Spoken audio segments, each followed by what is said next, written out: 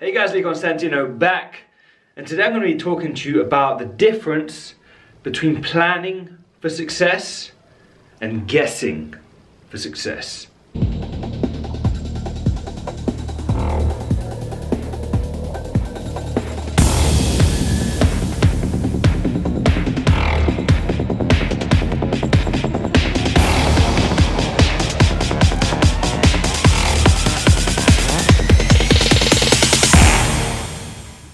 Alright guys, so today's topic is about success, right? A successful body transformation more specifically, and the difference between planning for the successful transformation versus guessing and getting to that successful transformation.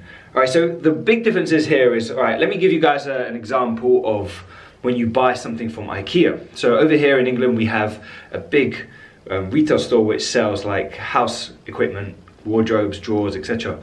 And when you buy one of the wardrobes or the drawers, it comes with a manual. Okay, so you can open the manual and it shows you step by step eh, with pictures and writing and everything how to build that wardrobe.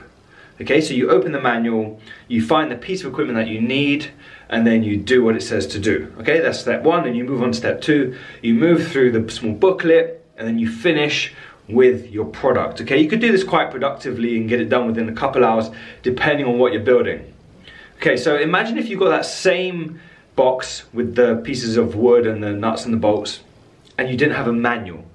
Okay, so you had all this equipment in front of you, you didn't actually have a plan of how you're going to get to this goal, how you're going to build this wardrobe. How long do you reckon it's going to take you? Okay, you reckon it's still going to take you three hours? No, maybe four, maybe five. I know you might not even be able to build it, right? Because there's certain things that you need to do in order to create it, to make it look the way it's going to look, or to function the way it's going to function. And the same thing with fitness. Okay, if you don't have a plan, you're going to be aimlessly going through the process, going through the motions, guessing your way to that goal. Okay, and that's the difference between having a plan and not having a plan. If you're guessing your way to that goal, you might not even get there. Okay, you might not have that same luck, you might not have that same ability to get to the goal just by going with the flow. Right? You guys understand this? That's, that's why it's like about having a plan, having a structure that takes you on that journey to your destination, to your body transformation. All right, and that's the difference right here that I'm talking about today. Because when you plan for success, you will get there. If you try to guess your way there, you might get there, you might not. But I'm guessing you guys want to succeed. You want to achieve that transformation, right? You want to change your body. So why go down the route of trying to guess your way there when you can actually have a plan and a structure and know that you are 100% going to get there? All right, so I just want to put that thought in your heads today, guys, and make you think about how you're approaching your body transformation, how you are you are planning on changing your body. What approach are you taking?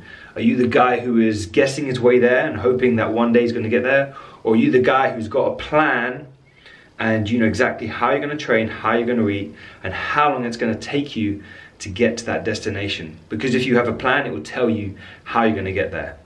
Right, so that's just planting the seed in your head today, guys. Planning versus guessing, and this is the biggest difference between actually getting to your goal and maybe getting there, maybe not. Alright guys, I hope this video helped you out. I hope you started to think about maybe having a plan, having a structure, having um, a process that you're going to follow in order to get to your goal, rather than just hoping that one day you're going to wake up and be where you want to be. Alright guys, thank you for watching this video. Please like the video, please subscribe to the channel too, and leave a comment if you have any questions about this video or there's anything you'd like me to talk about in future videos. Thank you very much, and I'll see you guys soon.